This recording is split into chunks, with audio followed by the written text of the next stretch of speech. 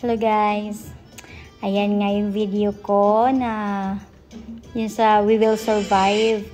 Um, actually, naglalakad ako ng napakamabilis lang naman.